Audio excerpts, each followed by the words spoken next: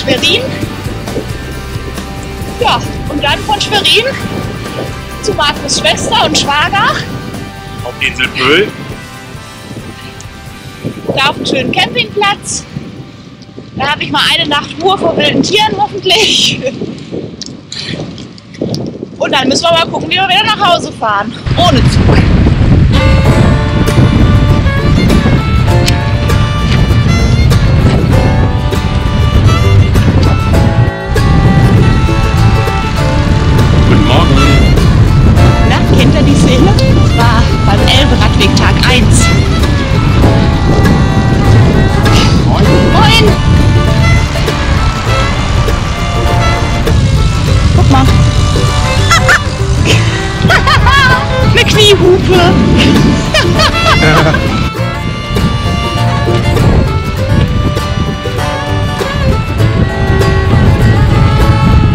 Ist äh, das Bürgerhaus. Da kannst du Partys machen und äh, Veranstaltungen. Direkt am Kanal hier. So, jetzt wird es nochmal richtig spannend. Wir haben 10 Uhr und unser Zug fährt in 18 Minuten. Und wir sind noch ganz weit weg vom Bahnhof. Jetzt müssen wir gerade mal ein bisschen Gas geben. Ich hoffe, dass wir das noch hinkriegen. Es ist 10 Uhr 5 und die ersten Türme von Hamburg sind in Sicht. Markus, wie weit ist es noch? Keine Ahnung. Ungefähr? Ich weiß es nicht. Ich weiß es wirklich nicht. Drei Kilometer. Es wird immer noch ganz knapp.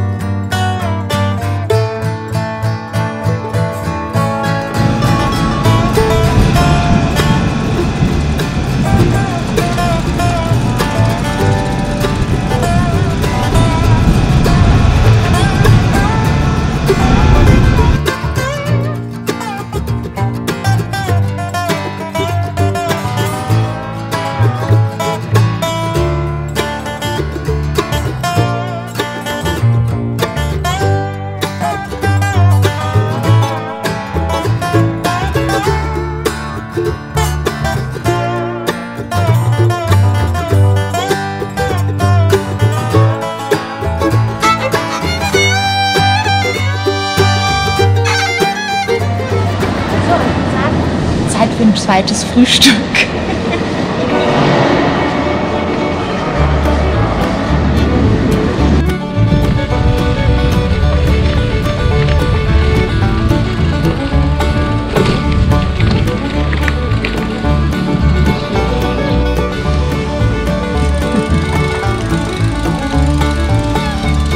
Eine Bank, was heißt das? Pause.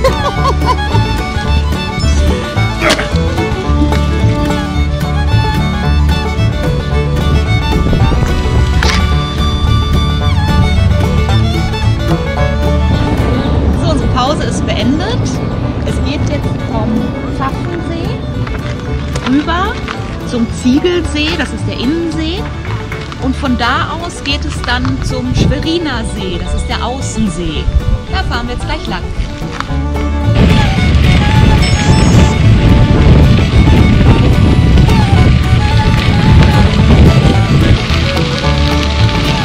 Das ist doch schon wieder mega schön.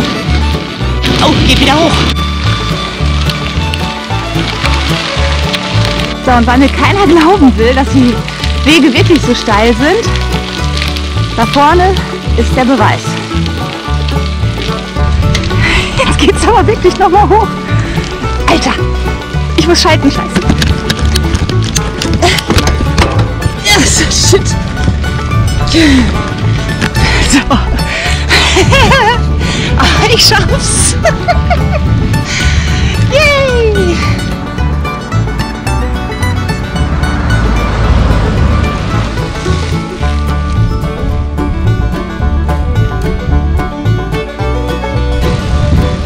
Schloss Willigrad.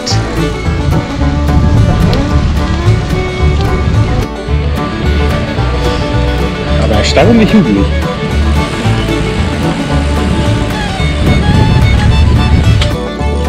Es ist schon wieder so viel Gegenwind, dass wir die Berge runtertreten müssen.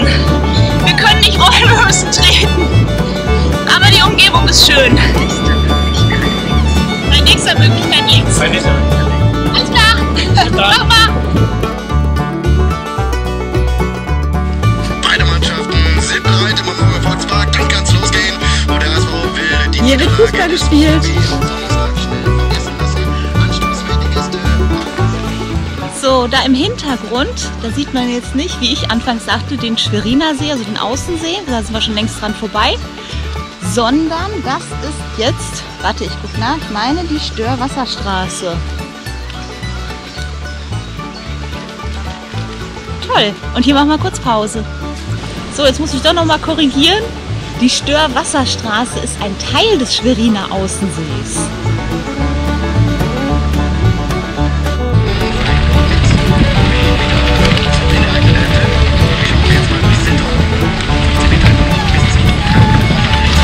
Ja, guck mal, das ist auch süß hier. Cool.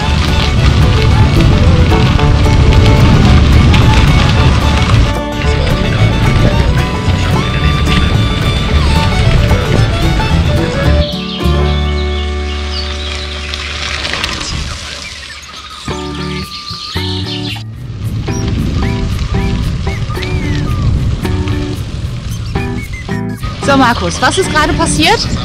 Naja, du wolltest am Berg anfahren mit dicken Gang und äh, dicken Kettenblatt. Und äh, da kommt man so schlecht den Berg hoch.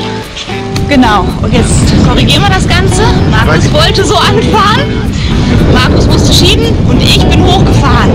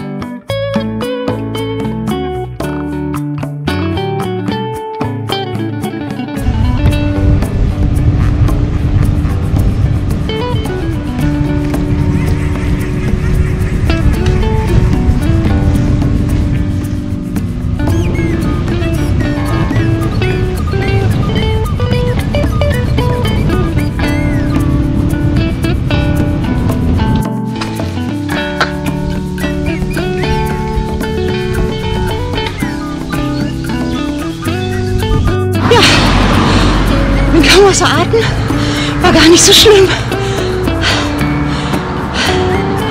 Jetzt geht's weiter.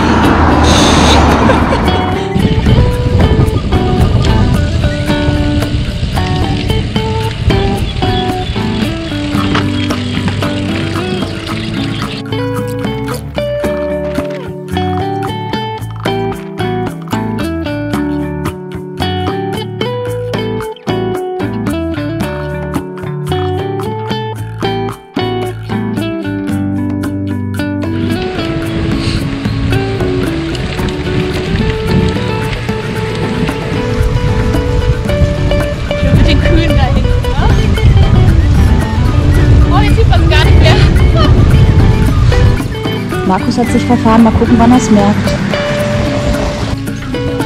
Da hinten kommt er. Da hat er es gemerkt. Das passiert, wenn man nicht auf die Frauen hört.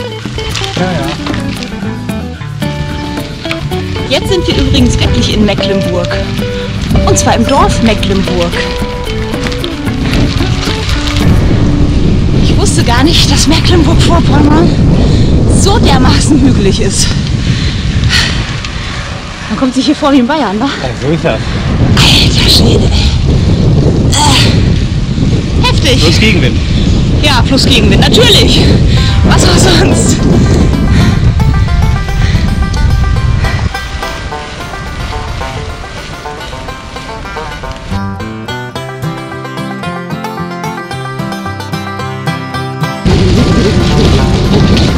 Steinpflaster.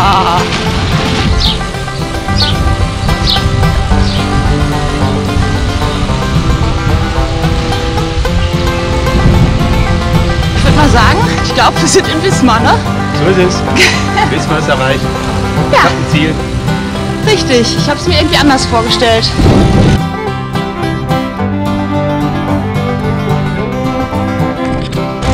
So, Lübeck, Schwerin, Rostock oder Pöhl? Wo geht's hin? Höhl. Pöhl! Eine Bank! Pause.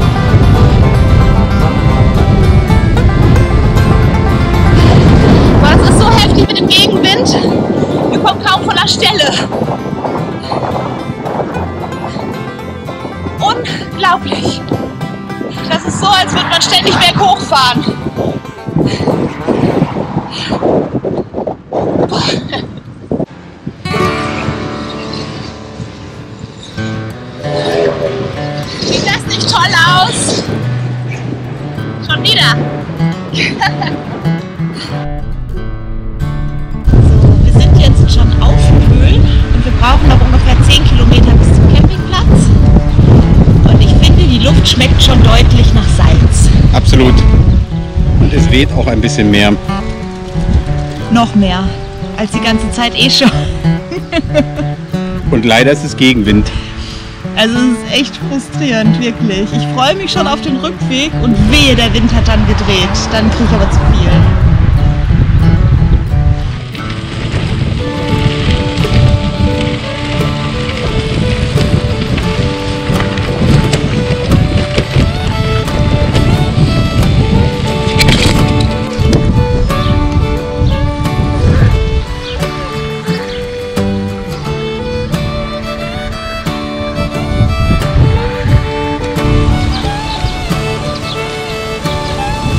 Ist er jetzt. Der Leuchtturm. Der Campingplatz am Leuchtturm.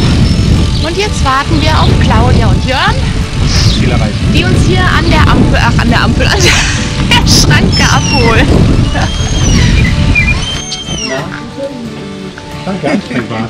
Das ist Claudia. Claudia nimmt uns jetzt hier in Empfang. Hallo Claudia.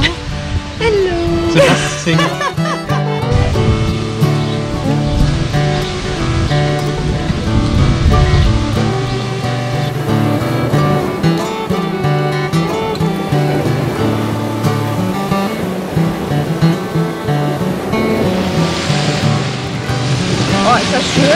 wunderschön. Der Strand hier ist cool, oder? Ja. ja. Das kann man leider nicht anders sagen. Nochmal.